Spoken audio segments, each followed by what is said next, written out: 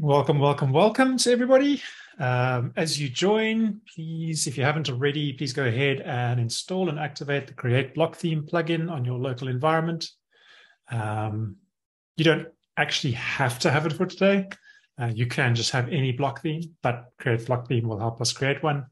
Um, and those of you who know me know that I, I like the plugin. It's one of my favorite plugins for block development. Um, and then let us know where you are joining us from in the world. Um, uh, I'm from Cape Town uh, in South Africa, and uh, I'm always interested to, to see where folks are coming in from.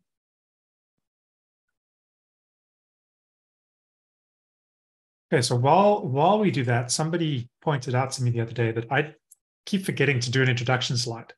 Um, I just kind of assume that folks don't care who I am, so I never do one.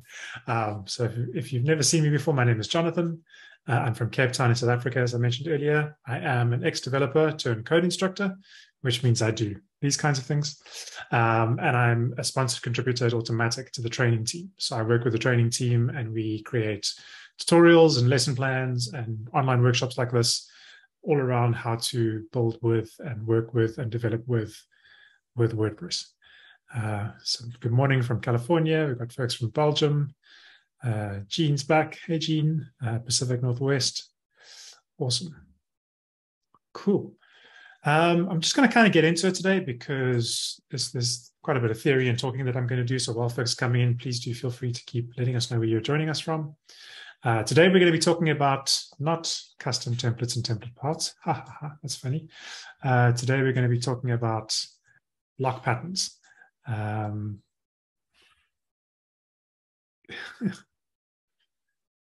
This is live editing of slides in a workshop. Um, and what block patterns are, they're one type of reusable um, uh, elements that you can work with in a in a block theme or in, in the WordPress block editor. Uh, they are quite useful because they enable uh, PHP functionality within a block theme, uh, which is quite cool if you want to do custom functionality outside of what's available in blocks. So today we're going to dive into how to create them. We're going to create a couple of live ones, um, and I'll show you how it all works. Before we get started, uh, first of all, welcome again to everybody, and welcome to Catherine, and thank you to Catherine for hosting, co-hosting with us today. Catherine is the is the face you should see at the top of the video there. Catherine is from from Canada, if, if I'm correct. Yes, Montreal, Canada. Montreal, Canada. So one day we're going to convince uh, Catherine to do a French speaking online workshop. Um, as always, we are presenting in focus mode. So that means you all can see Catherine and I, and we can see all of your videos, but you can't see each other's videos. And the main reason for this is just to prevent any any Zoom bombing. Uh, we have had some Zoom Zoom bombing situations in the past. It doesn't seem to happen so much anymore, um, but we still continue presenting in focus mode. Um, and as always, you are welcome to ask questions. If you want to ask a question, you're welcome to just post it in the chat, or you're welcome to unmute um, and, and ask the question verbally if you prefer. All that I do ask is if you if you do have a question that is not specifically re related to something I'm doing at that time, I will. There are sections that I leave breaks for questions unrelated to what's going on. We'll use those for those. Uh, but if the question is around telling me to slow down or pausing on screen because there's something that you want to catch up on or type or code or whatever, then perfect to let me know immediately and just say, hey, slow down um, I need to see what you're doing there. Um, as I mentioned earlier, if you want to code along with me today, we we are going to be using the functionality of the Create Block Theme plugin just to create a new block theme. That's the only reason we're going to use it. So if you'd like to do that along with me, um, please please do go ahead and install it. Um, if I'm going too fast, please do let me know. Um, we will be posting the session to WordPress TV afterwards. And for more uh, WordPress focused content, please do visit learn.wordpress.org. That is the platform where the training team um, and all the contributors who work on the training team publish all this content. So the online workshops are linked through there, uh, the tutorials are there, the courses are there. So please do go and check that out.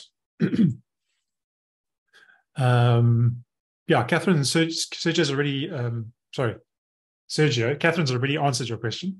Um, it is an easy way to create a block theme. It also has some other functionality, which I love, um, but it's just a quick and easy way to get a block theme going, which I'll show you in a second.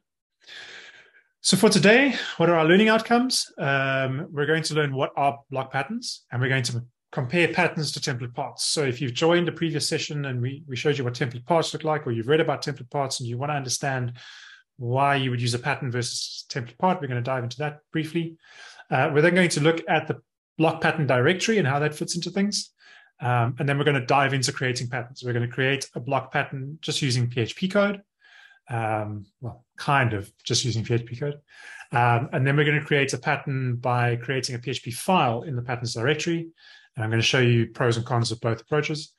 Um, and then I'm going to show you how, how you can use patterns to enable PHP functionality. So what I mean by that is something that needs to be dynamic or something that needs to pull from a specific location um, and, and how patterns are used to enable that in, in block themes. Um, the resources slide is just all the links, which Catherine will be will be feeding through to you all as we go through, but they're in the slides if you want to have a look at them later. Um, I did post a link to the slides in the meetup event, but I need to post an updated version because the slides have changed slightly, but I will do that after the session. Um, and then our objectives for today is we're going to create a very simple button pattern. Um, it's going to be very simple and straightforward, and we're going to use that to, to register the pattern in PHP code. Then we're going to create a custom footer pattern, and we're going to do that um, while we create the pattern file. And I'm going to show, then I'm going to use those two examples to show the pros and cons. Then I'm going to show you how to register a pattern category, which is very handy if you are working with a custom theme for a client.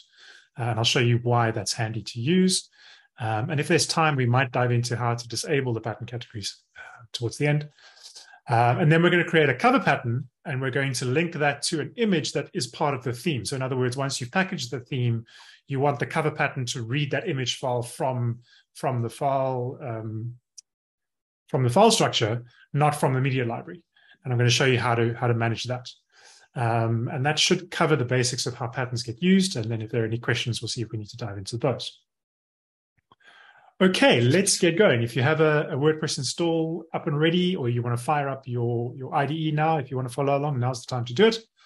Um, I have, uh, as always, a very basic WordPress install set up on my local environment. Um, it has just the default themes that come that come with WordPress.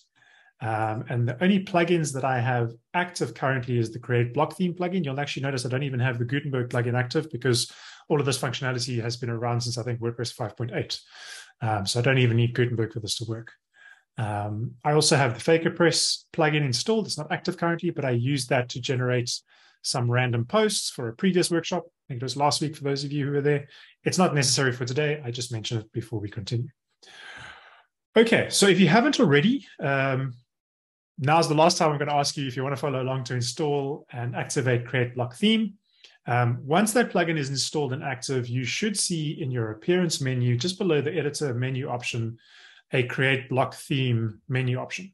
It also adds uh, something about fonts, which if you want to learn how about how to embed fonts and local fonts, we're going to be doing one of those soon, uh, probably next week. I know um, one of the other contributors did one, but I'm probably going to be doing, doing one soon as well. But today we're just going to be working on creating a new block theme. So if I click on create block theme, it gives me a bunch of options. I can export, I can create a child theme. Um, but for the purposes of the day, I'm just going to go with create a blank theme. Now you can call your theme anything you want to. Uh, I'm going to be very boring, boring, and I'm going to call it John's blank theme. Um, and you don't need to worry about descriptions and URIs and all that. If, if, you don't need to worry about it today, we can always add those in later if we need to, but that's the, the basic required data that I need and I'm going to hit the generate button and it's then going to create a whole bunch of theme files for me. Um, so if I go back into my themes, I will see that I now have my blank theme there.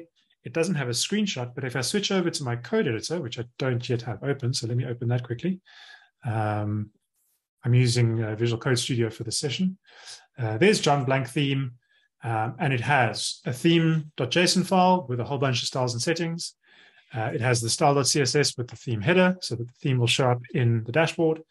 It has an empty README, um, and then it has one template, the index template, which is the base required template that all WordPress themes need.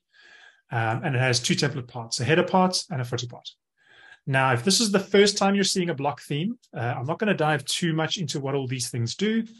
But the index template is basically a template that WordPress can use to render content. And because there's an index template, any content that I render on my site will use that template, which is fine. Um, index template itself, if we have a look at the code right at the top here, it includes the, uh, the header template part. And it includes right at the bottom, sorry, I scrolled down too quickly, the footer template part. So this is very similar to a classic theme calling get header function at the top and the get footer function at the bottom, and that it includes those templates in PHP um, as it would in a classic theme. The header template will show you in the site editor what it looks like, but it just contains a logo and a tagline and those kind of things. And the footer just contains the proudly powered by WordPress banner, which we've all seen before on a WordPress theme. Um, so that's that's the code that this Create Block theme plugin generates for us, so we can start using it. If I switch back over to my browser um, and I activate that theme and I go into the editor, uh, it loads the index file or the index template in the editor for me. And there I can see what it looks like. So there's my header section. My content section currently is just a query loop. And then the footer right at the bottom here, uh, I've got a whole bunch of posts. I'm going to scroll down very quickly. It's got the proudly powered by WordPress. Um, I can check that by clicking on the list view. And I can see there's the header template part, which contains the header content. There's the query loop, which is just sitting in the index.html template. And there's the footer. So that's a basic blank block theme. Right, now we've covered the basics. Now we can get on to the reason we're here today, which is template patterns. But before we do that, I just want to make sure there are no questions before we carry on. So if you have a question about any of this that we've covered so far, you're not sure of, now's a great time to ask it while I grab my sip of coffee before I go.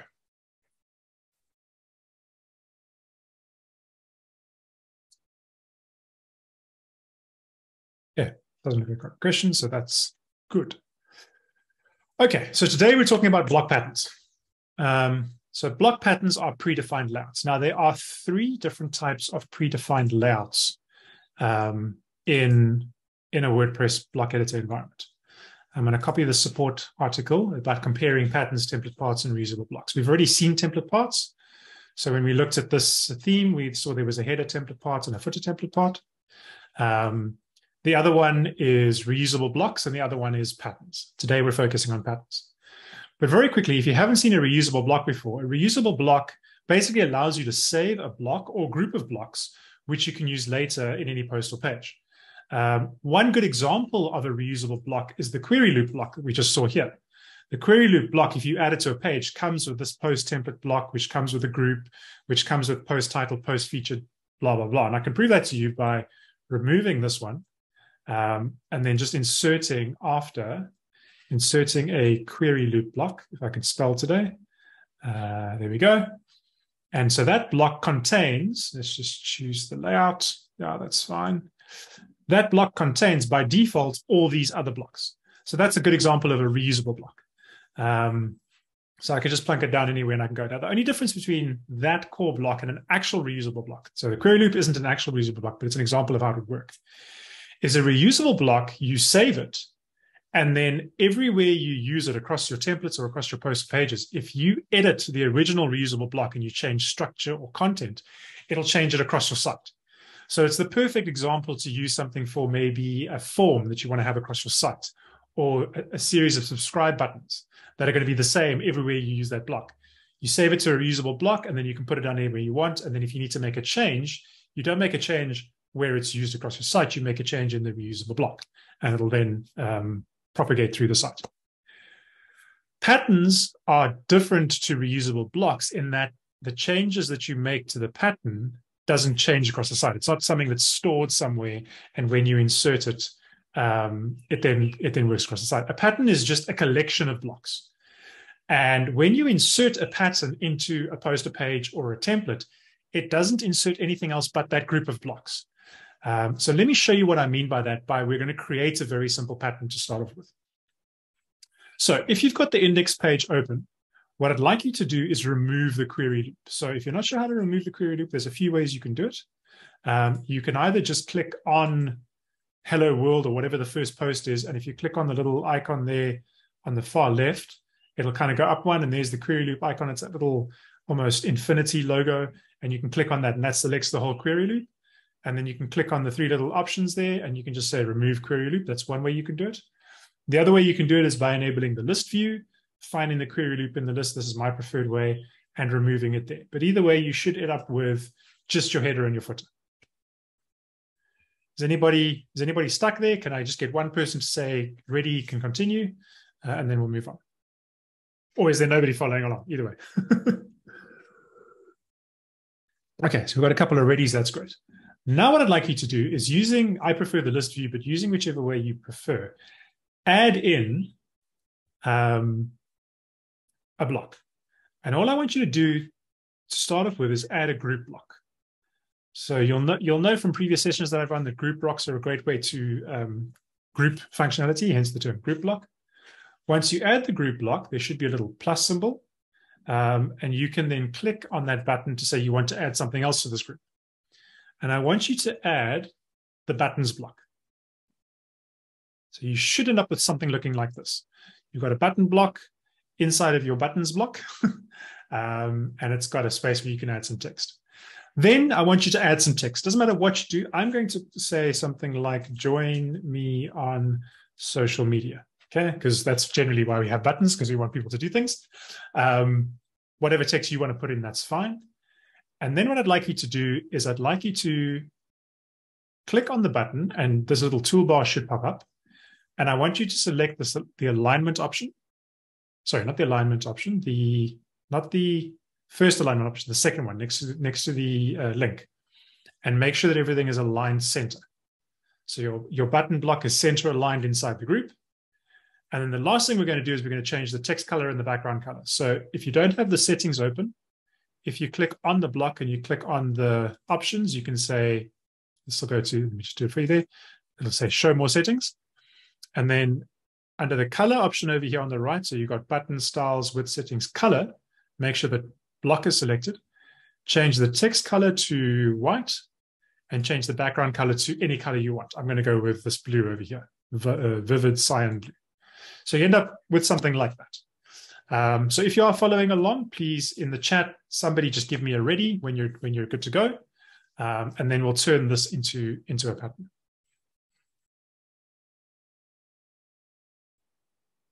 All right, awesome. Everybody's got a button at least. Um, hopefully, some of you have done some interesting things instead of just going joining on social media. Um, whenever I am building things like this, my my examples are always way less boring than that. But uh, I can't use that when I'm doing a workshop. Okay, so I want to now register this as a pattern, and this is where I need to start writing some code. So if you've got this um, block patterns uh, handbook document open, which Catherine shared um, earlier on. So it's the second one that she shared in the group of lists. If I can ask Catherine just to share that URL again. You'll see the second paragraph talks, talks about there being two ways to register a pattern. You can either register patterns in the patterns folder, which we're going to do in a minute, or you can use the register block pattern function, um, and that you can do in PHP. Now, this is perfect for if you're registering a pattern in a plugin and you want to distribute that in a plugin. Um, the downside to registering patterns is, that you have to register the pattern, or at least you have to copy the pattern code, the block code, as a string. Um, and that makes it a bit wonky uh, inside of a string. But I want to show you how that works first, and then we'll move on to doing it in, in files. So I'm going to scroll down here, and we're going to jump past the patterns directory option, and we're going to go right down to PHP registration. And just below that, you'll see there's an example. Uh, it's calling the register block pattern function, and then there's a theme slug, awesome pattern, all of that. I want you to copy that code out and have it in your clipboard. Now, I mentioned earlier that this is perfect for doing in plugins, but we're not going to do it in plugin today. We're going to do it in our theme, just so that everything is in the same space. So keep that document open, switch over to your code editor, whichever editor you're using, or just go to a folder directory and right click and open the text editor. Um, and in your theme, so in the root of your theme, I want you to create a functions.php file, just like you would in a classic theme. So in Visual Code Studio, I select the theme name, I right click and I say new file and I go functions.php. And there is my empty functions.php file. Um, and then the only other thing you need to do in there is you need to open up the PHP opening tag. So it's a smaller than sign, a question mark, and PHP. Okay. I'm going to take a break there and ask somebody just to give me a ready when they've got all of that up and running. Uh, and then we'll move on.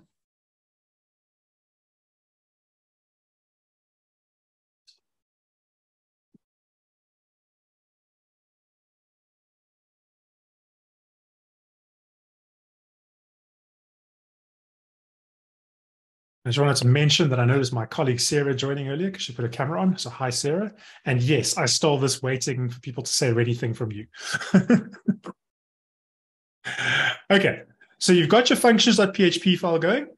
Now we're going to paste that code from the doc. So this is my favorite way of writing code. Taking a sample from somewhere, sticking it in my file, and then editing it as I need to do. Um, there's a lot of jokes around, you know, using Stack Overflow to write code. I'm sure we've all seen the memes, but this is how developers work. We find code examples, we put them in files, and then we change them as we need to. So I'm going to copy that out, and I'm going to pop back over to my PHP file, and I'm going to paste that code down over here. Okay, so let's walk through what this is doing. It's not cheating if it works, right? Absolutely. um, so register block pattern is the is the function that registers the pattern, um, and then it requires some information. The first the first uh, string that it requires is the name of the pattern, and the name is in the format of the theme slug, which is usually just the, the lowercase file name of the directory slash and the name of the pattern. Um, and so what that does is that allows the pattern to be registered specifically to the theme. Um, it's not something that actually matters in the background. It's just easier to, to manage. So let's say Catherine, for example, had Catherine's theme and I have my theme and Catherine registers a, a pattern called my awesome pattern and I register a pattern called my awesome pattern. At least this way, Catherine's slug and my slug will be different. So it creates some, some uniqueness. So I'm going to update my slug and I'm going to just pop it through John John blank theme, exactly the same as the folder name. I keep pointing at my screen like everybody's here with me. Um, it's exactly the same as my folder name.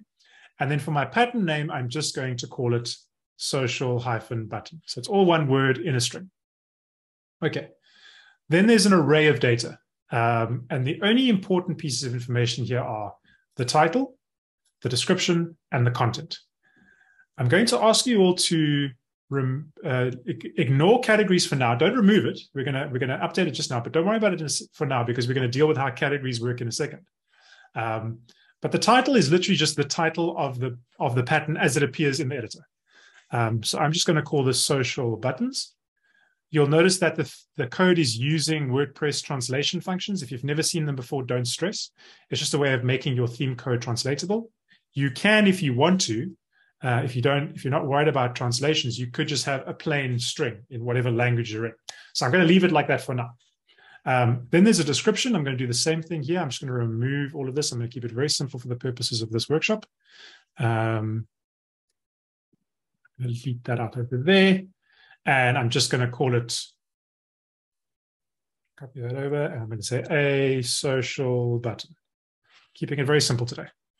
Um, then for categories, all I want you to do is make the categories buttons for now, because this is it's going to add it to the buttons category, and I'll show you how those categories work in a second. But for now, just add it to buttons, and then I want you to delete everything in the content string.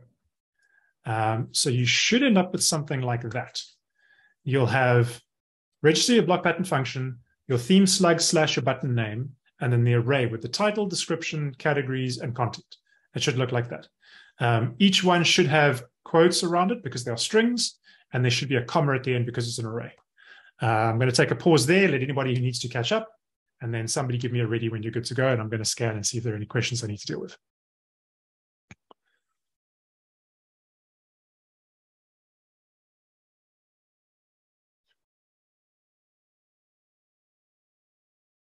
So Carl is ready.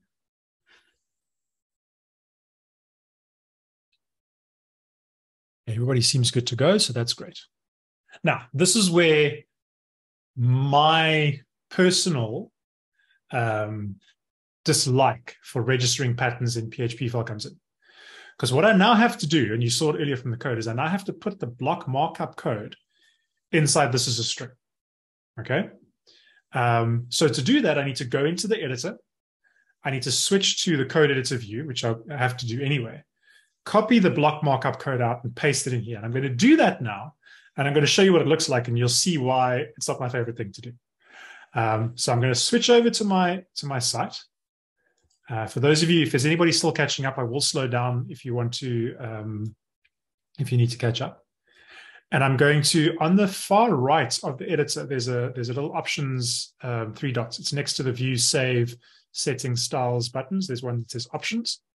and I can enable the code editor. Or you can use this the Shift Option Command M uh, keyboard combination if you're on a Mac.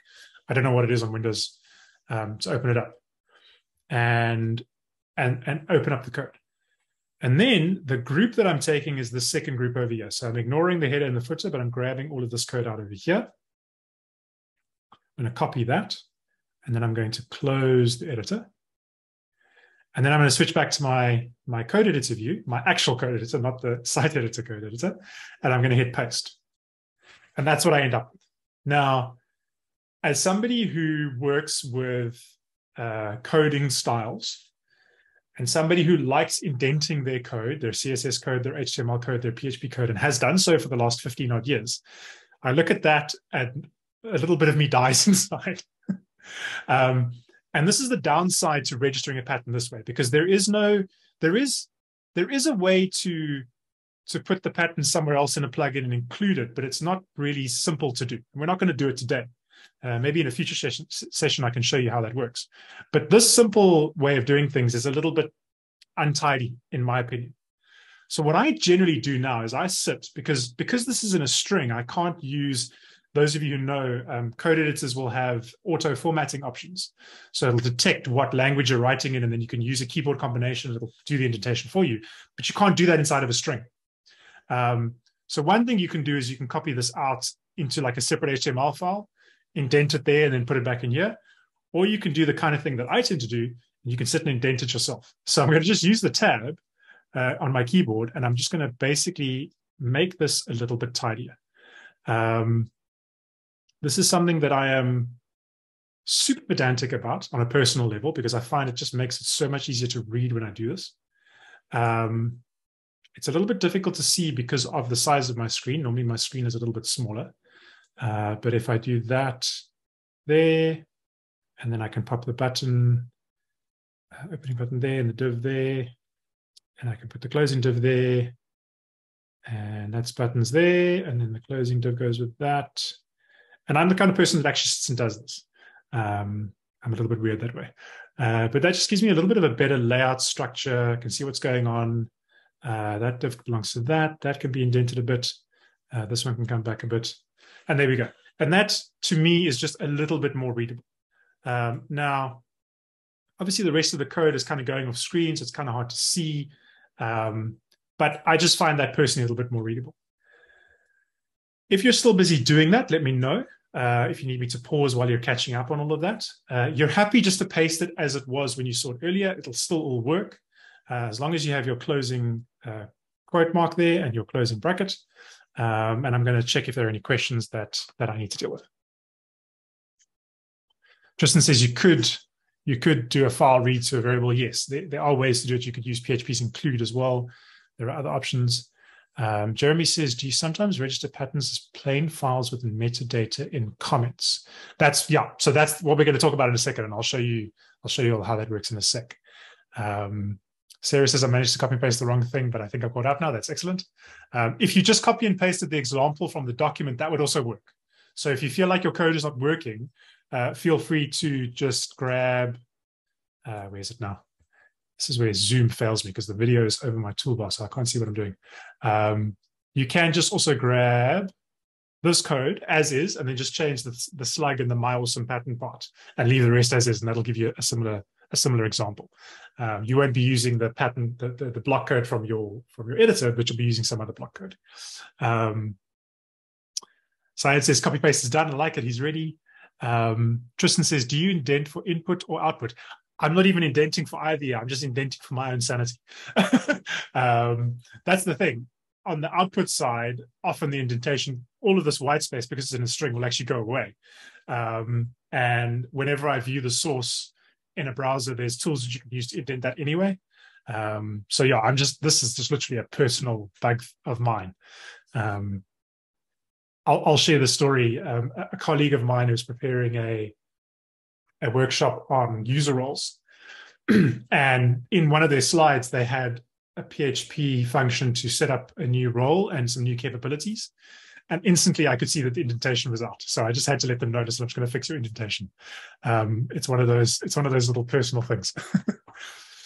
okay, so I think everybody's caught up. We've had a couple of I'm readies and ready to go. So now let's see this in play. So if everything works and I switch back to my editor and I refresh it, I should now be able to add that pattern. So the way you add patterns, I'm just going to remove the query string again. Oh, sorry, not the query string, the query loop. Um, there we go. And I'm going to say, ah, video's in my way again. Go away video. I'm going to say insert after. And then if I click on the add the toggle block inserter button, I have options to add blocks or patterns. So if you've never seen patterns before, this is what patterns look like all of these patterns that are loading here are pulled from either WordPress core or the pattern directory, which I'll show you where that is and how that works in a sec. Um, but if you click on the drop down, and if you remember the category we added it to was buttons, and you click on buttons, you should now see in the list there, you should see your social button. Um, is anybody not seeing their button in the list of buttons in the pattern list? Okay, Sarah says it works. Catherine says yay. Uh, Adrian says no. Okay. Um, let's see if anybody else is stuck. Um, okay, so folks aren't seeing it. Have you refreshed the editor so that it's reread all your theme code? Step one.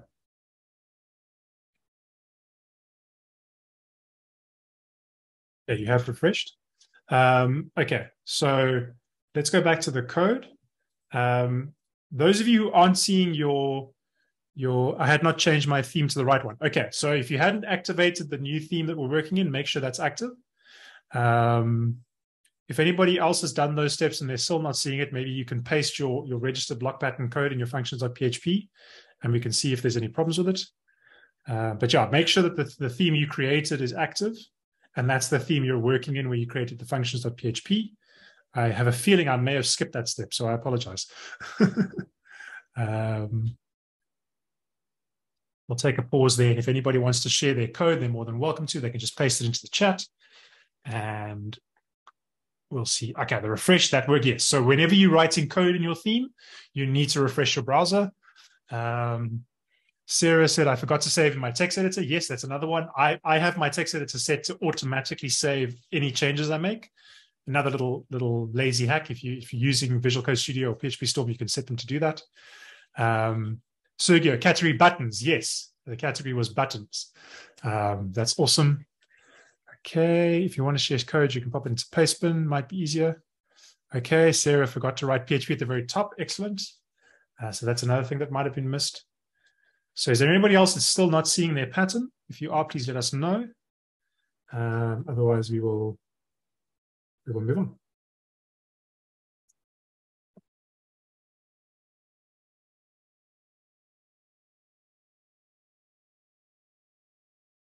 I'm not seeing anybody mention that they are stuck. So it seems that we've resolved all the problems. Um, so just to recap, yes, make sure your PHP file, your functions.php is inside of the active theme that you're working on. Make sure that you have the opening PHP tag that is required. Um, things like your categories, make sure it's buttons, not button. Uh, and then make sure you have refreshed your editor using the browser refresh tool or whatever the case may be.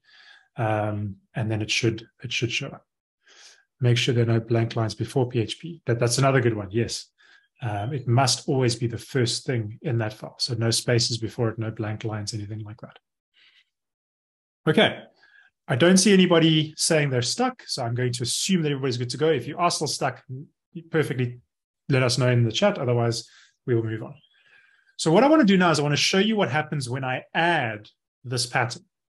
So over here where I'm going to add a block, if I just click on the socials button pattern. It just adds the pattern as to be expected. But you'll notice that when I switch to the list view, it's added the pattern as it existed in the code. So it's added, it hasn't added like a special pattern block like we do with template parts, has a special header template part block, and then it contains the, the template part content. It just takes that code and just inserts it. Um, so if I make a change to this, these blocks in this template, it doesn't it doesn't affect anywhere else this pattern is used. If I make a change in the code, it doesn't affect this usage of the pattern. And that's where it's different to reusable blocks. So patterns are more something that you would enable for folks to be able to insert something that they want in their site and then maybe customize to their needs. So, for example, this is a good example. Um, somebody might want to be insert the social media pattern and then change it to Twitter or Facebook or whatever they want for wherever they want on the page. So it's more just giving users kind of predefined designs, predefined elements that they can use wherever they want on their site. Okay, so that is registering a pattern in PHP. Um, you can, yes, or, or making a, a posting template. Um, you can do you can do this in plugins. You can do this in themes. We did it in the functions.php today, which is fine, but we could register that in a plugin. So earlier on, I mentioned um, that when we click on insert, sorry, let me just go back here and here. Um, and we and we enable the patterns list, all of these patterns are being loaded from somewhere. So there is something called the block pattern directory. Um, and this is something that exists on the WordPress.org website. So it's similar to how you would install plugins and how you would install themes. And this is one of the things that I love about patterns because this is folks who are creating patterns, contributing free patterns that you can install, that your clients can install.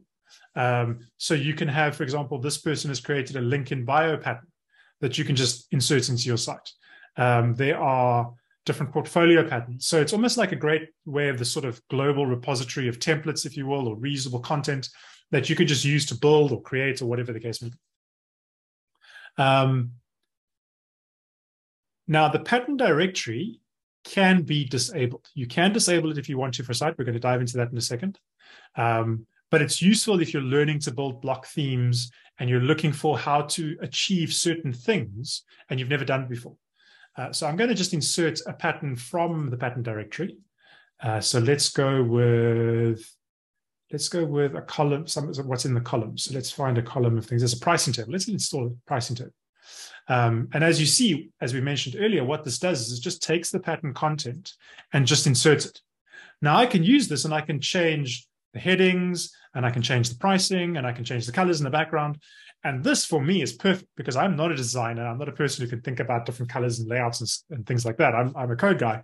Um, so this is great because now I can use these patterns that have been contributed, just like I would use plugins or I'd use themes, and I can build. I can use this in templates. I could use it in posts or pages or wherever the case may be. Okay. So that's the pattern directory. So I'm going to just check my notes quickly because I've forgotten what my next objective was. Oh, yes. So we want to create and use a custom footer pattern. Um, cool, let's do that.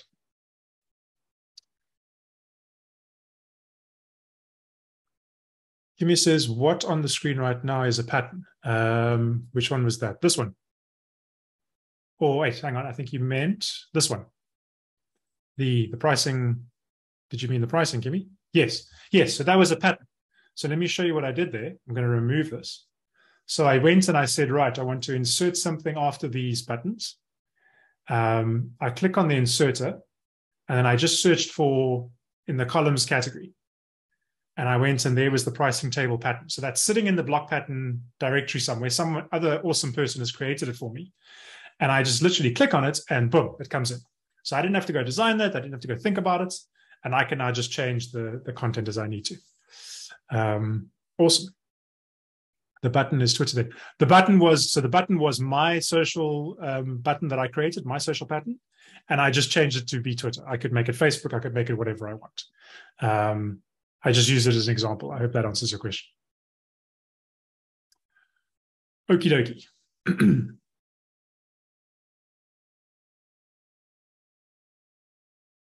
so I'm going to go back over here. Um, so there is i'm trying to i'm actually not going to do the custom footer pattern today. Um, and i'll tell you why. Because it meant to be a header pattern. Um, i forgot what i was doing. So i'm going to create a header pattern. So i apologize. So i'm going to talk you through why i might create a custom header pattern and why i'm doing it for the purposes of today.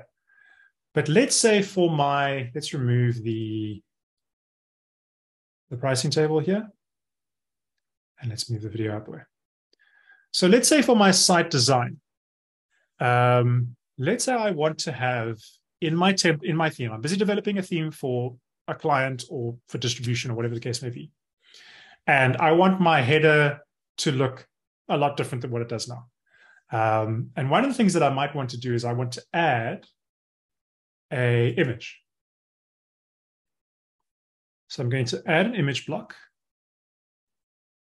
Uh, actually, uh, sorry, not an image block, a cover block. Now, if you've never seen a cover block before, um, I'm going to show you what it looks like now. So let's just go and find, I've got a, a picture of water here somewhere. Um, there we go. I'll step through this in a second with you. But a cover block is basically a cool block that has a background image and then a title across the front. So if you're following along with you, I'm going to remove all of this so we can start all over again. Um, so let's remove the cover. So we've got the group that we added, the, the, the social button or the whatever button. And then I'm going to insert inside of the header. So I'm using the list view to open up the header template part. And I'm going to insert either before or after, doesn't matter because we're going to remove everything else. And I'm going to add a cover block. Now, there's multiple ways you can do it. You can either click on the plus button and search for cover block that way, or you can use the forward slash start, start uh, shortcut and type in cover, and it'll then bring up the cover block. Once you've done that, you can either upload an image or use an image from your media library. Um, I think I've already uploaded it, so I'm going to just check. It should be in my media library. Yes, there it is. So let's use that one, for example. So upload or select an image if you have one. Um, if you don't have one, there are many places you can find them. You can go to Pexels, for example, or you can go to Openverse, which is something that is a WordPress project for uploading of images. You can go grab one there. Um, and then we're just going to give it a type. And I'm just going to say uh, my header. And because I can't really see it on my image, I'm going to take that and I'm going to change the text color to white. So there's my header. And I'm going to move that above the site title and the site logo. Okay. Um, so if you're still in the process of finding an image and those kind of things, um, please take your time now. Um, and then if somebody can let me know once they've got their cover block with some text above the, the, the header that, that exists in the in the header template part, then we will we will move on from there.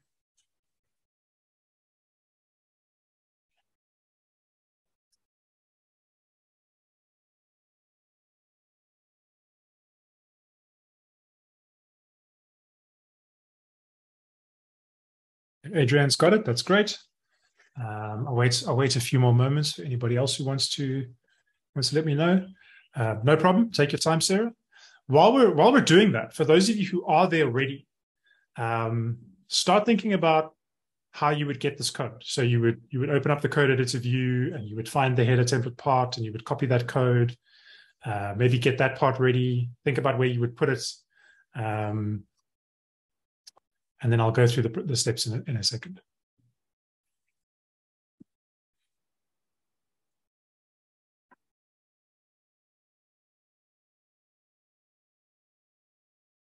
This is always where I was thinking about it. would be nice to have like elevator music in the background. uh, what's that? The Girl of Ipanema song. That's the famous one. All right. So whatever, however you've done it, whatever image you've added, whatever text you've added, that doesn't matter today. Well, hopefully you've got the cover block there. Uh, hopefully you've got an image. Uh, it looks like the cover image comes with a black opacity. That does seem to be the case. Um, you can, I believe, change that. We're not going to worry about that today. We, all we're doing is adding. The important part today is really adding the image because that's required for the next step. Um, so, so if you're still searching for an image, that's also fine. Um, we'll take another break later if you need to catch up. It's all good. Um, if I switch to my code editor view now, there's my template part, and I can't see the cover block that I've added because I've added it to the template part. WordPress is clever enough to say, but hang on, you're editing the header template part. You want that code to be in the header template part. So what I'm going to do now is I'm going to hit save and it'll say, do you want to save the index? And do you want to save the header? Yes, I want to save both, please. So I'm going to save that. And then I'm going to go and I'm going to toggle my navigation. I'm going to go to my template parts. I'm going to find header and I'm going to open up the header template part. And if the code editor is still enabled, I'm going to exit it because I want to see there my cover template is. Now, what's interesting about this process is you could have done it in the template editor inside the header template part, Or you could have gone to the actual template part itself and added it there. It doesn't matter. WordPress is clever enough to figure that out. So there's multiple ways to achieve the same goal. Now, what's cool about this is when I view the code view here, I just see the code for the header template, which is perfect. Okay. So what I want to do now is I just want to grab the cover block that we've added. So it's this code right at the top of the header template. So it starts with the WP cover comment and ends with the WP cover comment. And then you'll see below that is the header group that was there before and all that kind of stuff. So we're just going to grab that code. Now, if you remember from the documentation we looked at earlier, um, there are two ways to register patterns. The one way is in PHP. The other way is just to create a file in a patterns folder in your theme. And that's what we're going to do now. And to me, this is a lot cleaner and a lot neater. It's only available to the theme. And so that's why I would argue that patterns should belong to a theme, um, unless you're loading them up into the into the pattern directory, or you're creating it for a specific plugin. But generally, if you're thinking about building patterns and you're building a theme, a good place for them to live is with the theme because they generally belong to the layout and the, and the structure of the theme. And the cool thing about this is all we have to do is inside of the theme directory, in code, I go right click and I say new folder. And I say patterns. And then I create my pattern file. Now, the difference between block templates and block template parts is pattern files are also PHP files, just like functions PHP was. So I create a new file and I give my pattern file a name. And I'm just going to literally call it cover-block.php. And then because it's a PHP file, as we learned earlier, we need to open it up with opening PHP tag. So it's that. PHP. And here is where we can do, I can't remember who asked about it earlier, but somebody was asking earlier about having some kind of header comment. This is where you can do that. So for now, I want you to close that PHP tag. So just like I've done there, open it like that, uh, less than question mark PHP. And then on the very next line, question mark, sorry, less than greater than. So it closes the PHP tag. And then you can paste your, your cover block markup directly below that. Um, and what's cool about this is if I'm using a text editor that has built-in indentation, um, I can, hang on, what have I just done here? I can actually implement that. That's not working now for a second because I'm probably using the wrong keyboard combination. I can't remember what it is, but I can do the automatic indentation. It looks so much neater and tight. Now, the other thing that you need for a pattern to work, and let's go back to the documentation, is if you look at this example, it has, and this is very similar to what we've seen in plugins, what we've seen in themes in this in the style.css file, there is a there is a pattern header that you need to implement. So in the documentation where it talks about using the patterns directory to register patterns, there is an example. I want you to grab that code, that header comment area, and put that at the top of your pattern inside of those PHP tags. And once your, your pattern file looks something like this, you've got your, your header, PHP open, header comment, close tag, and then your block code. Somebody hit me up with a ready to go, and then we'll move on from there. While I figure out what the shortcut is to indent this code. Uh, working for some reason. This is what happens when you use a tool that you don't use every day.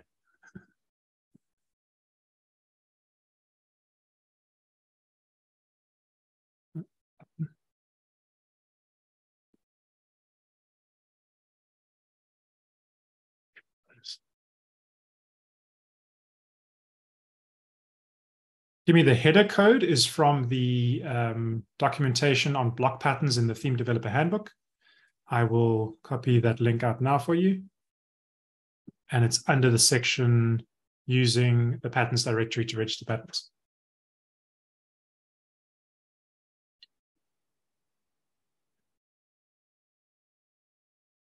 And this is why I started uh, assigning an hour and a half to these sessions because they start they start requiring a little bit more time. Okay, Adrian is ready. That's great. Carl is ready. That's great. Um, I'll leave it on for a little bit longer before we carry on.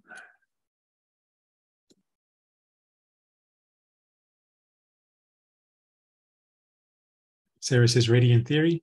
We'll, we'll see what the theory and the practice is in a second. Okay. I think I'm going to stick with three readies before I move on. So we've got three, so that's good.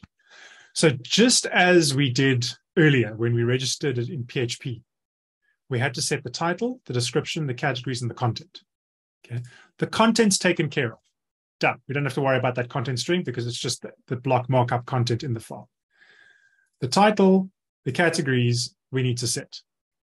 The slug we also need to set. Now you'll see the slight difference here is that the slug is set as the first variable. It's not set in the array under slug when we register it in PHP. But in the header part, in a, in a file, we have to register the slug that way. So that's the slight difference in the two. But otherwise, the rest is pretty much the same. So as we did before, let's give it a title. So in this case, I'll just say cover block. Um, we'll do the same theme slug. So in my case, John blank theme. And we'll give it the same name as the file. So in my case, you'll see over here, it's cover hyphen block. So I'm going to just say cover hyphen block. Now, in terms of categories, we can't say buttons this time because it's not a button.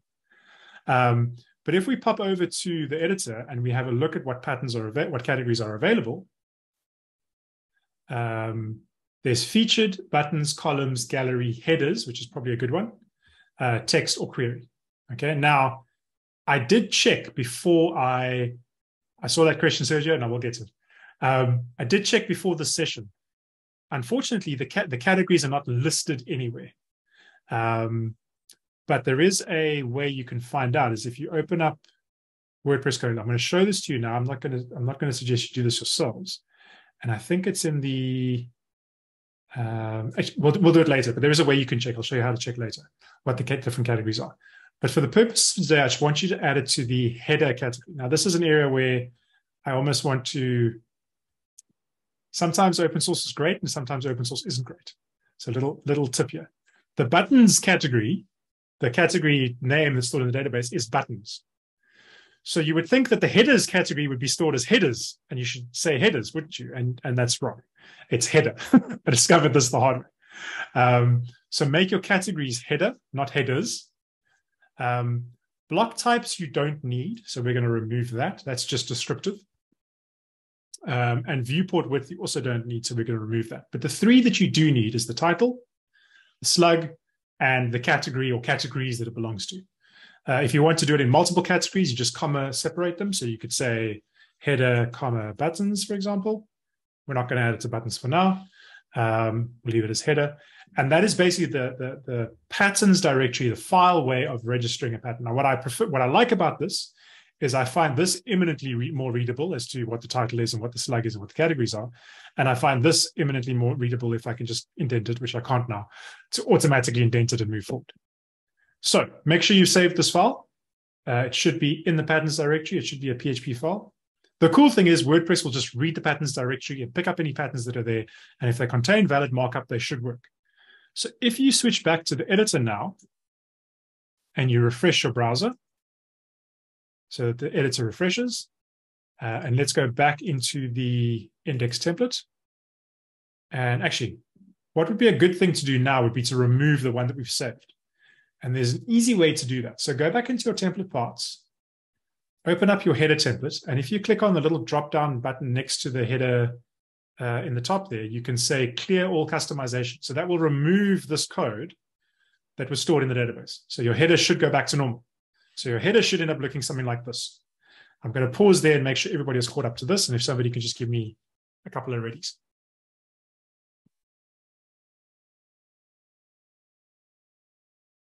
Uh, Adrian's ready. Can I get two more? Sergio's ready. Excellent. And Sarah is with me so far. I like the positivity, Sarah. okay. So now if I switch the list view on and I'm going to insert it before my group, so I'm going to say insert before, and I'm going to click on the insert block and I'm going to enable patterns. And if I go to the drop down and go to, we said it was headers, I should see my pattern here somewhere. And there's cover block. Now it looks like I copied the code incorrectly. Um, so I'm seeing my, my buttons, uh, but some of you should be seeing um, your cover pattern. Um,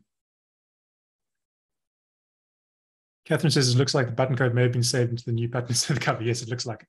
Uh, but some of you, sh- instead of, uh, looks like I made a mess up and I saved the button code. Um, so yes, that's exactly what happened.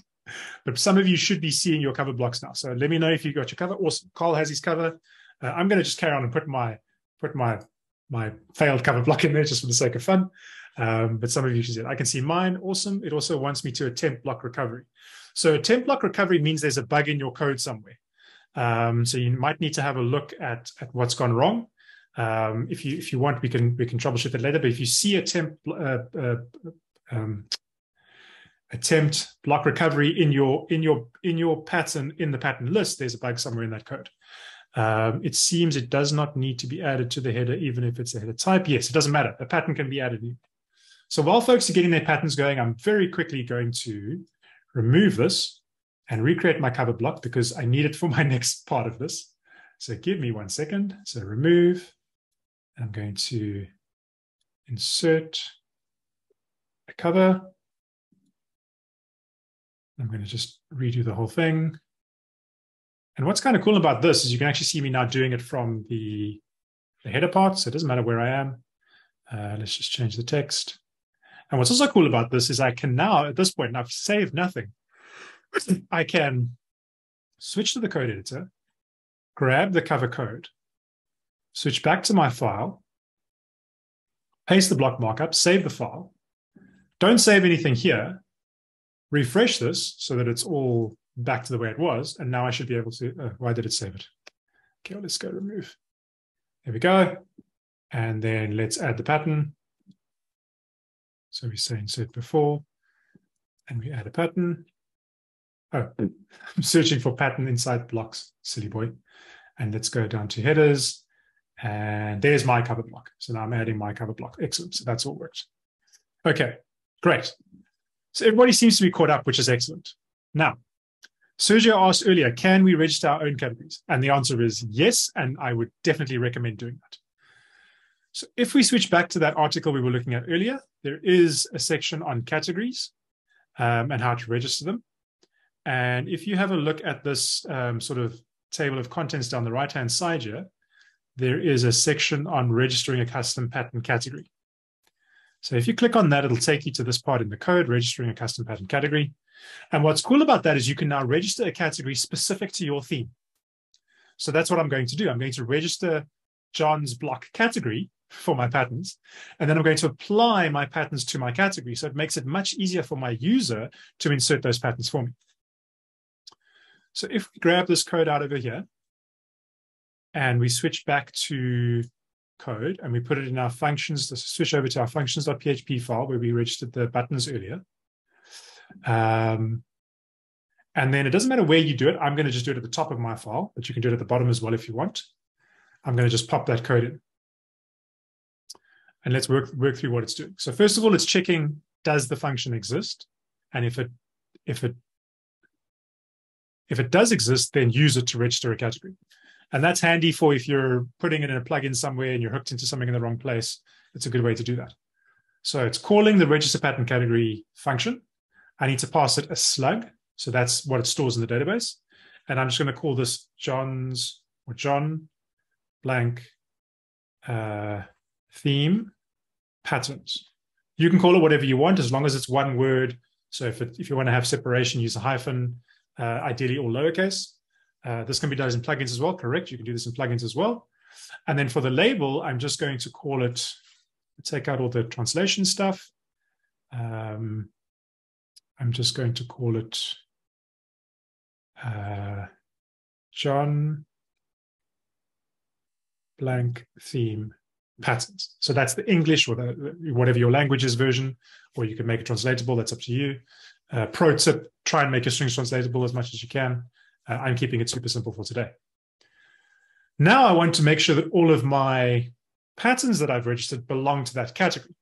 So I'm going to take that category out, the slug, and wherever I've registered my patterns, so this one, I'm going to change this category to the new category that I've registered. And I'm going to go back to my cover block pattern file, and I'm going to change the category here as well. Okay. Um, so first of all, you register your pattern. Sorry, you register your pattern category, give it a slug and a label, and then change your current patterns, so the one that you did in PHP, it was buttons, change it to your new pattern, and then go to your cover block and change the categories there from header to your new pattern. And then if I can get a couple of readies, we will see how all this works. Jonathan, maybe you can confirm what I, the question I just mm. answered. So Sergio was asking if this part, the new function you just added, if this could be done in a plugin as well. And yes, I said yes. Yes, yeah. absolutely. So every everything that I've done. So here's a little interesting piece of knowledge. But everything you do in a functions.php file is effectively working the same as a plugin. Um, so anything that you can do in functions.php, you can separate into a plugin. So I could take all of this code if I wanted. Let's say I wanted to bundle my social plugins. So I'm building, I'm building a, a plugins, a social buttons plugin that I want to sell, and I want to have blocks and patterns and various things. I could do all of this in a plugin, package it up, and off I go.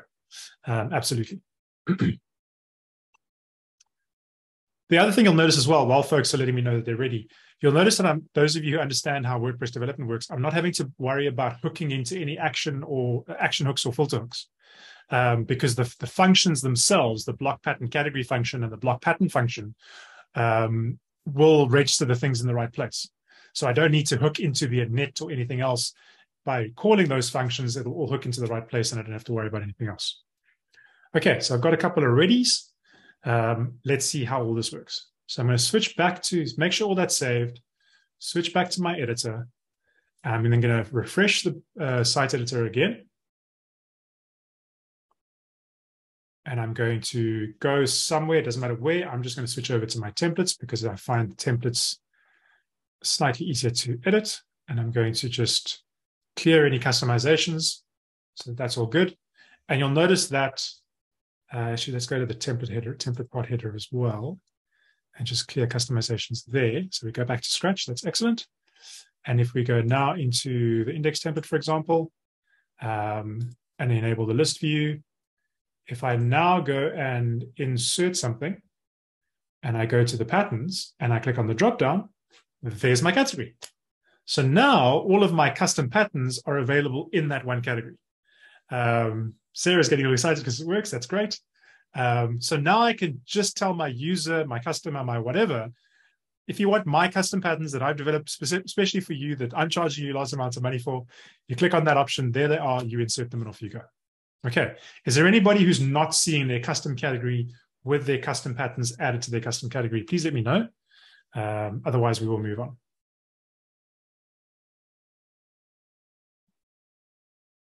Yeah, Adrian's with Sarah. That's excellent. Um, Sergio asks, yeah, Sergio's along. He says, I assume categories can be hidden. Yes, we're going to cover that towards the end um, because I want to make sure we do the next thing first. And if we run out of time, I'll just talk you through the code, but we won't actually do it because it's actually fairly simple-ish um, or fairly straightforward, should I say? It's, but what we're going to do first is a little bit more complicated. Um, so yes, we'll get to hiding categories in a second. Um, Awesome. So Sarah's up and running. Sergio's good. Adrian's good. Everybody's happy. Awesome. Great. I like that. that makes me happy. Um, for those of you who don't who don't know, when I when I first started doing these, I, I, used to stress about not being able to have that interactivity with folks and, and and knowing that folks are you know along for the ride. So it's nice to hear that everything's working for everybody. Okay, so why did I create this cover block with this image? Well, let's think about this. Currently, the image that I've added to this block is sitting where? It's sitting in the media library. Okay, so let's have a look at the code and see what that means. So let's switch back over to the cover block file. And let's just, I'm going to, please forgive me, but I'm going to just zoom out for a second so that we can all see. Uh, I can't zoom now. Oh, wait, it's, it's minus. Yeah. So I apologize if the text is a bit small, but I need to be able to do this so we can see what's going on here. Um, I'm just going to move the image over and I'm going to move the div over just so it's a little bit tidier. Okay.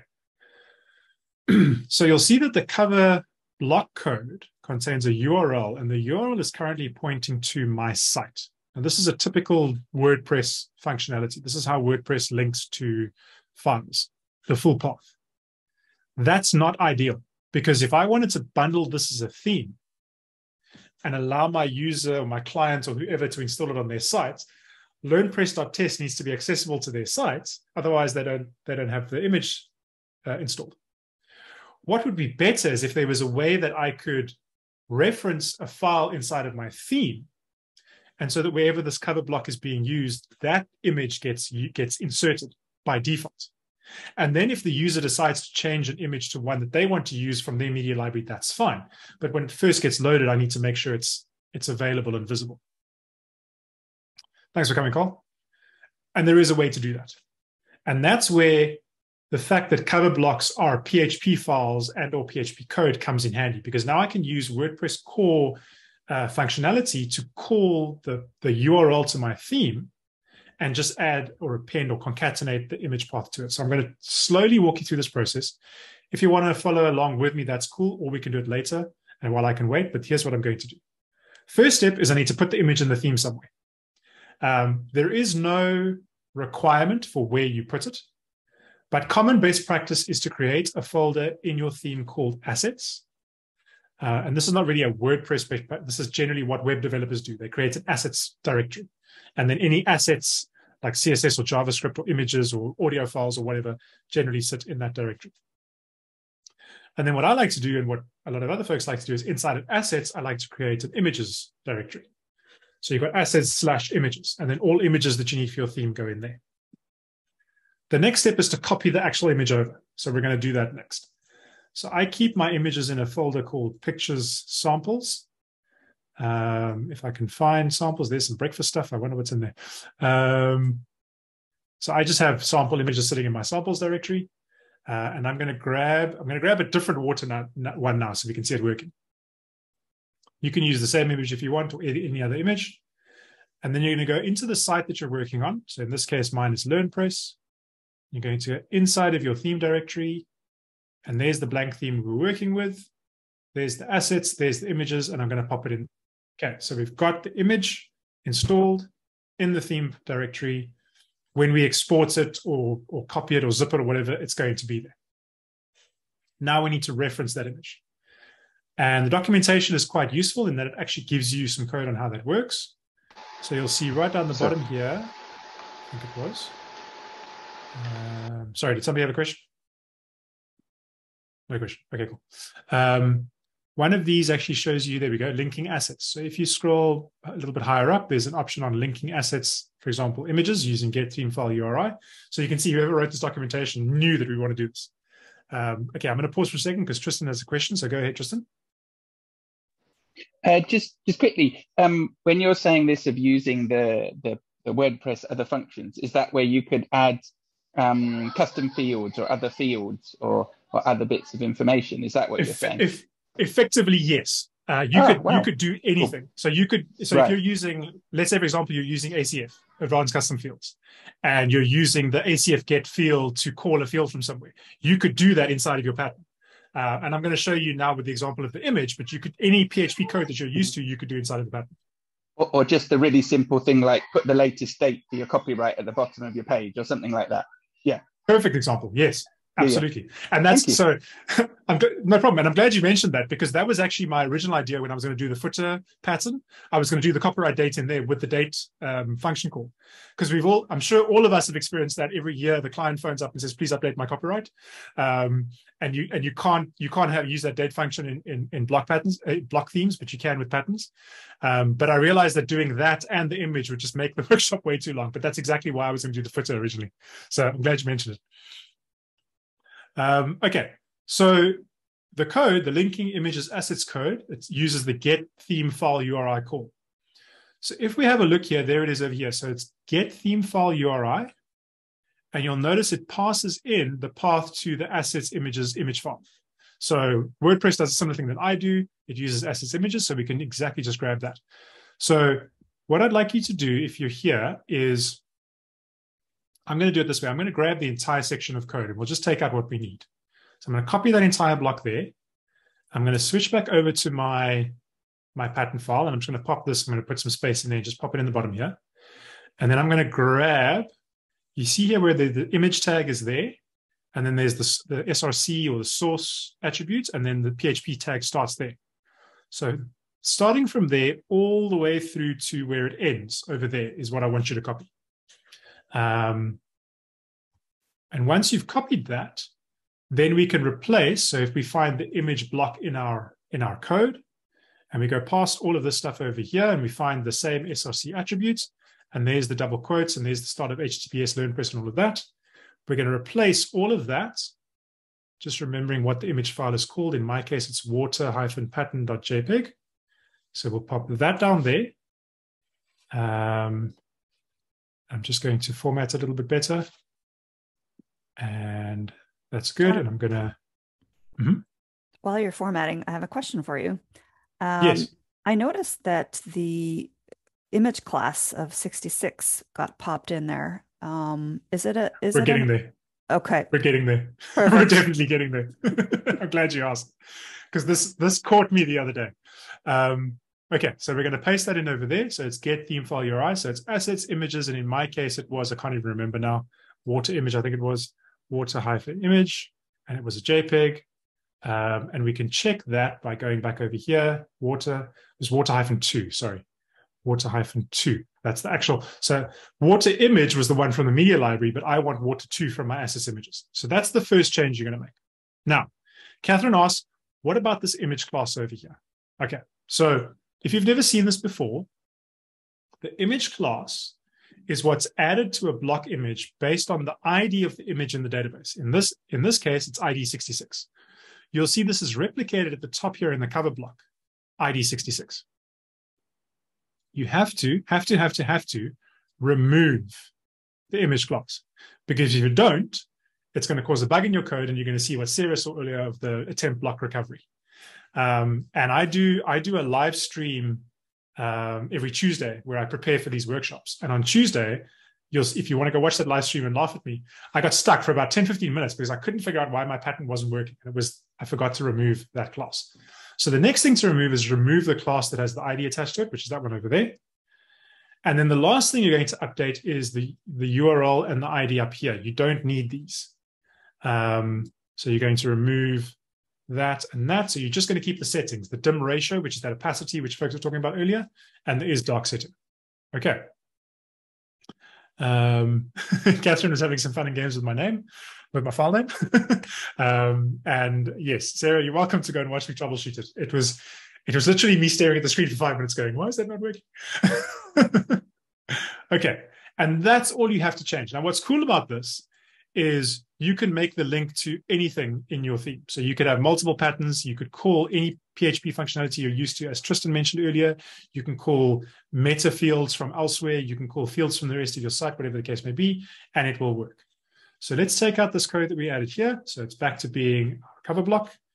We've added the URL, which looks good. We've removed the class and we've removed the URL and things up here. Let's see what this does. Um, I'm going to pause there for a second and just make sure that anybody who needs to catch up can catch up if you are coding along with me. Uh, and if you are coding along, give me a couple of readies and then we'll test and see if this works. I think I think there is one one little discrepancy. There's .jpg in your code, but then the file is and it's JPEG. So you can change spot. one. Yeah. Good spot. Can can you come and sit and watch me code as well, please, and pick up my, my bugs? Be happy to. It's a little far for me to get do it remotely. I'll, t- I'll, t- I'll tell you what I learned. I learned that um, I'll say the hard way, but I learned how having somebody watching what you're doing can actually help you find bugs at a previous position. I used to do live streams. I, I worked on a plugin called Seriously Simple Podcasting, and so because it was open source, the CEO said, "Sure, you can live stream whenever you're working on the plugin, when you're fixing bugs or whatever." Uh, and a couple of times when I was stuck on something and I couldn't see what the obvious thing was, somebody else who was on the live stream said, "Hey, have you tried this?" or "What about that?" So yeah, I love these these kind of things. Yeah. Um, cool. Okay. So Adrian's ready. Sergio's ready. Tristan says this is great. Some code I made in the plugin because I need PHP. Exactly. You could do as a pattern. Absolutely. Cool. So let's see if this does what we expect it to do. So we'll switch back over here. Um, and I'm going to refresh all of this. And now I should see a different image in that pattern. Uh, it should be loading the image from, from the theme. So let's insert a block. Doesn't matter where we insert it. And it was my blank theme patterns. And oh, look at that recovery error, error, error, error. Something's gone wrong. Okay. So I've done something wrong. Um, I'm trying to think what that is. uh, image as was hyphen two. That looks right. Um, That is the water image. I wonder if it was, just had a thought. I think it might be the URL. I'm not sure about that. I know the ID doesn't need to be there, but maybe the URL does. So let's update that. And if it is that, then we'll, we'll uh, update our code. So I think I need to do this. So I was hoping I wouldn't have to do live debugging today, but apparently I do. Um, so let's pop that in there. And then let's remove this again. And now let's see what happens. Um, refresh. Let's add the pattern. And interesting. Now I'm getting the block, but I'm not getting the image. Jeremy Um, had the oh, idea because- to put a slash before. Oh, there, it's the JPEG again. I copied over the JPEG. okay, so let's save that. So here we go, live live debugging, folks. Uh, specifically prepared so this wouldn't happen, and then it happened anyway, but that's fine. Um, so there we go. So there are patterns working. So I was slightly wrong. Uh, you do need to add the URL element in the cover block. So it does need the URL. For some reason, I thought it didn't. I can't remember why, but you need to update those two places. So in the SRC attributes of the image class and the URL attributes of the block code. And make sure that your URL is in quotes, there's a colon, and then open close quotes. And then you can just literally use exactly the same code. Uh, you can reuse there. If you want to be clever, um, I that clever? Bad choice of words. But if you want to be a little bit sort of, a lot of developers talk about do not repeat yourself.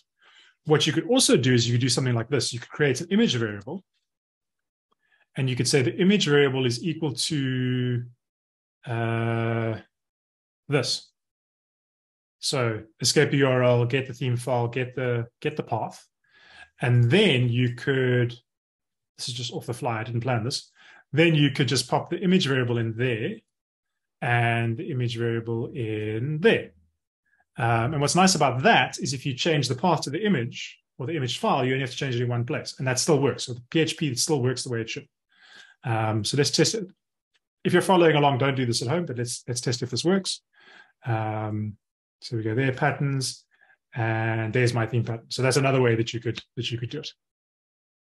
Okay. Um, awesome. Awesome, awesome, awesome. Is everybody else who is following along seeing their their custom image? If you are putting your custom image in, are you seeing it in your patterns? Um, in your patterns list? Uh, Sergio says, yep, so that's great. Uh, I'm going to insert this pattern now. They have popped it at the bottom here. Let's move it up a little bit. Um, I'll just put it above here. I'm going to remove this one. So while folks are catching up, I'm just going to do some cleanup. So I'm now I'm using my new pattern, which is great. And then I want to put that pattern inside of my, oh, I've replaced the group. I don't want that. so let me clear these customizations. Um, I'm going to go back into my template parts. I'm going to go into the header. I'm going to clear those customizations. And then I'm going to add my pattern into my header. So it looks a little bit better. Da, da, da, and, and there's blank theme patterns, and there's my pattern, and there it is in my header. So I can save that now. Excellent. Okay, I, I, went very quickly there because that's just me being pedantic about how things are laid out. Um, so you're all welcome to do that. But the idea was that you can at least see your custom pattern with your image from the theme. So now when the theme gets installed on the client site, um, I will, I will in a second, Adrian. When the theme gets installed on the client side, the, the, the image in that pattern will go along with it wherever it gets used. And the client can then, once they've installed the pattern, if they don't like the image, they could replace it with their own image or do whatever they want. Tristan, I do see your hand. I'll get you in a second. Uh, Adrian says, can you show the cover block code again? I must have an error. Sure, let me do that. Uh, I'll leave that on screen while I chat to Tristan. Tristan, what's up? Uh, it was only just a quick clarification. Um, before, when you were showing us patterns, they did. If you change the pattern, it didn't change on page because every time you put it into a page, it's like a copy of that pattern. But I think a Mhm. little bit when you were changing this pattern, it was changing live, or, or did I misunderstand it? When you put it in the page, can you go and change Once- the file later? So, it- and it so if you, if, yeah, yeah, if you put it in the page and then you Mhm. change the file, it's, it's, as far as I know, it's not going to update No, right. It I just shouldn't wanted to make update sure. the actual page. Um, Right. Yeah, it shouldn't update the page because whatever gets inserted into the page, that's what's on that page. Um, right. That that's where. So if you want that functionality, that's more of a, a reusable block uh, versus using a pattern. Thanks. You can actually. There's a sure, no problem. Um, if you have a look, Adrian, I'm just going to quickly switch off this, and I'm going to come back to this. But if you have a look at this, um, go back to there. If you read through this support article comparing patterns, template parts, and reusable blocks, there's actually a lovely little table on there, and they show you um, the differences. And one of the one of the fields is syncing, and syncing is if you use it in one place, that you make a change there and it changes everywhere else. And uh, reusable blocks is the only one that does that. Okay, Adrian, how are you going? Is is did you did you get things working?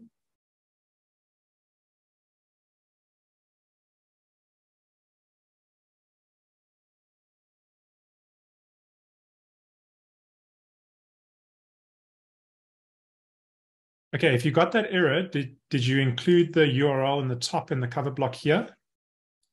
And did you remove the uh, WP image hyphen with the ID? And did you remove the ID from the cover block? Did the top URL? Did that? Would you would you like to grab your your cover block code and just paste it into the chat quickly? Then we can have a look. I'm going to just do this quickly. It's the ID. Okay, there we go. So the three things you have to you have to change. You have to change the URL uh, attributes in the cover block code in the, in in the block markup here.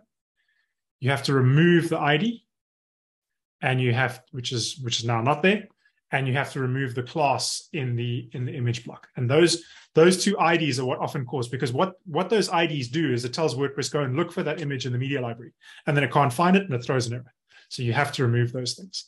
Um, there's a there's a block theme course that I'm working on where we actually talk about this. And one of the things that they always say is you need to make sure that anything related to IDs in the database aren't there. Um, that might not be a bad idea for a feature that we should request on the Gutenberg repo, where there's some way that you can copy the code without the IDs or something. I don't know. Um, but there we go. Okay, so Adrian's got hers working, which is excellent. Okay. So this is a very quick little insert into this workshop. Um, I forgot to do something when I recorded this workshop. Uh, so I'm just very quickly recording it now to add to the video so it can go on WordPress TV. Uh, it's actually possible to add patterns into your templates and template files via your code editor. So in other words, you can programmatically add them. Um, and this will include it in the template or template part by default when it's when it's part of the theme. Uh, so what I mean by that is, for example, we were looking at how to, uh, let me pop over here to the editor. Um, and we spoke about the fact that you can, in your template part, so we'll pop into the header template part because I'm going to add that cover block. You can click add and you can search for it in the patterns list. But you can also include it in the header template part by default um, in the code. And if you look at the advanced uh, topics block patterns document we were looking at, there's a section on including block patterns in block theme templates. Um, and you use this WP colon pattern block markup. So I'm going to copy out this top one over here. And I'm going to pop over to my code editor and I'm going to go into my theme that I was working on and I'm going to go into my header template part and then above the group block that contains everything, I'm going to include the pattern. Um, and I just need to pass in the slug, which, as we know, is the theme slug and the cover. So if I go to the cover block, for example, it's going to be John Block theme cover block. And I'm going to stick that in there. Um, and now, if I switch back to the editor and I refresh my editor, you should see the cover block. There it is. The cover block is now part of the template part. So this is a very cool way to include custom PHP functionality in your block templates by default by using patterns. Um, so your pattern contains your PHP code, um, which can do whatever PHP things you need to do, looking up data, querying things, um, getting images, getting video, getting whatever that's part of the theme. And then you can include it in your template or in your template part using this pattern block markup. Uh, so that's very handy for folks who want to be able to have the best of both worlds. Um, using using the block editor to create their templates, saving them as template files, um, but they also need to have custom PHP functionality. Uh, you can do that in block patterns, either in um, the PHP registration, which we covered, um, doing it that way, or using the file option. And then you can include those patterns in your template parts or in your templates, and it all just works, uh, which is which is very very cool. Great. We are running out of time, so I want to just talk through quickly how you can disable um, the categories. So there's a couple of ways you can do it. If you have a look at the uh, block patterns um, uh, handbook doc that I shared with you earlier, and you scroll right down to the bottom here, there's just, just below the registering a custom category section, there is a section on unregistering a, a, block pattern category. So you can specifically unregister the categories that you want. And you remember I said to you earlier, I'm going to show you where the list of registered categories is in the code. So I worked this out the other day. If you want to see this in the live stream, you can go check it out. But I just did a search for anywhere where they're using registered block pattern category uh, in the WordPress core code. And I think it's in WP include. So I'm just going to find this for you all quickly. Uh, there it is. So it's in a file called block patterns. Um, the file is in um, includes block hyphen patterns.php. And here's the section of code. Um, and if anybody out there is a documentation contributor and they'd like to add this list of galleries somewhere, this category somewhere, please do let me know because I can't stand not finding things in the documentation. Um, but the categories are buttons, columns, featured footers, gallery, headers, text, and query. And then here are the slugs that you can use from that list. Uh, I'm gonna I'm gonna copy this out and paste it in the in the chat so that folks have it in case they're ever needing it. Um, please feel free to play around with your patterns that you've created now and add them to multiple categories and see how they show up. Um, but just as the categories have been registered, you can also unregister specific categories using, let me scroll down, using the unregistered block pattern category function. Um, you needed to, no problem, Tristan. You need to hook your function into an, an, an init hook if you want to do that. So here is the code. You hook it into the init, you create a custom callback function, and then you register your category. Um, you'll see me doing this live in the live stream if you want to check that out. You can also remove theme support for the core block patterns. So that removes all core patterns. Um, and you can also use this should load remote patterns filter to disable all of the patterns from the pattern directory. So I'm going to show you all that quickly. So if I just copy this code as is, I don't expect you to do this with me, but if I put this in my functions.php, um, save that and refresh my editor, when I go to add a pattern, all of the other ones that were coming from the pattern directory no longer exist. All I'm left with are buttons and query. Okay. Um, and then if I wanted to disable um, support for the for the core blocks, the, sorry, the core patterns, I could use this um, unregister, no, not that one, uh, remove theme support for core block patterns. There is a slight caveat. Um, I haven't been able to successfully do this yet, and I think it might be a bug. um, so there's actually, if you want to follow along, I'm gonna I'm gonna follow up on this probably tomorrow. Uh, I, I, logged this yesterday um, in Gutenberg. Uh, da, da, da, Let me find it quickly. Um, deactivating is deactivated core patterns does not seem to work, and I listed all the things that I did.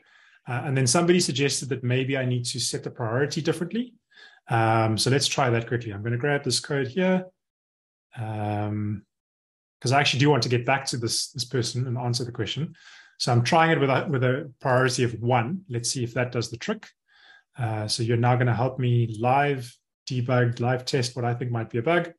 Um, so let's see if it disables those patterns. It does. Okay, so there we go. So if you want to disable the core block patterns, you use this code over here. So add the, the, the your custom action to the init hook. Uh, I should probably call this something like John blank theme, deactivate core patterns, create a custom function called the same name as that, and then just use the remove theme support one, and that'll disable all core patterns. And then if you use the, um, where is it? I think I deleted it. Um, if you just, so you'll notice that was interesting. I just want to sorry, I just want to go back a step. Uh, let's just do that. So let's do that there. So notice that if I just,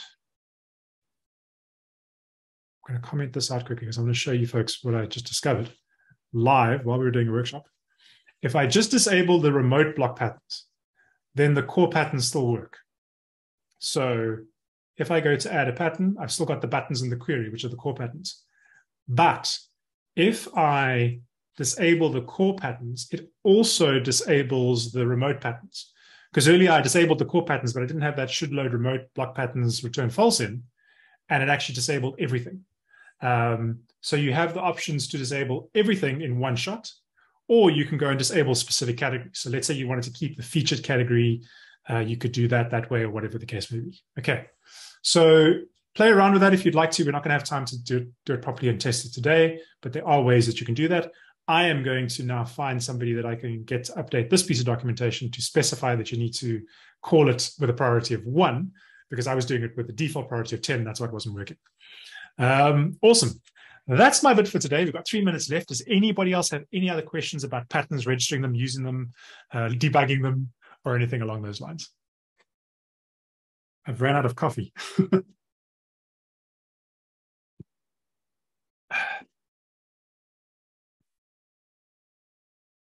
no questions. Awesome. Um, if you do have questions uh, that you don't have time to ask now, you're welcome to hit me up on Twitter. I'm John underscore Bossenger on Twitter. I'm not very good at Twitter, so don't send me DMs, but ask me questions there. Um, I'm also in the Make WordPress Slack. So if you are there or if you want to join that, you're welcome to ask me questions there. Um, otherwise, thank you all for joining me today. It was lovely to share, share how to use patterns. Um, Sarah's happy about PHP. I like that. Um, Twitter handle again, I'll type it in here. So it's John underscore Bossenger. Um, I'm I'm pretty good at ignoring Twitter when I'm working, and, and I generally only scroll it in the evenings. Uh, but if you do have questions, you're welcome to ask me there. Uh, but thank you all for joining me. Uh, thank you again, Catherine, for hosting. And thank you, to Sarah, for cheering me on in the background. Awesome. Thanks, everybody.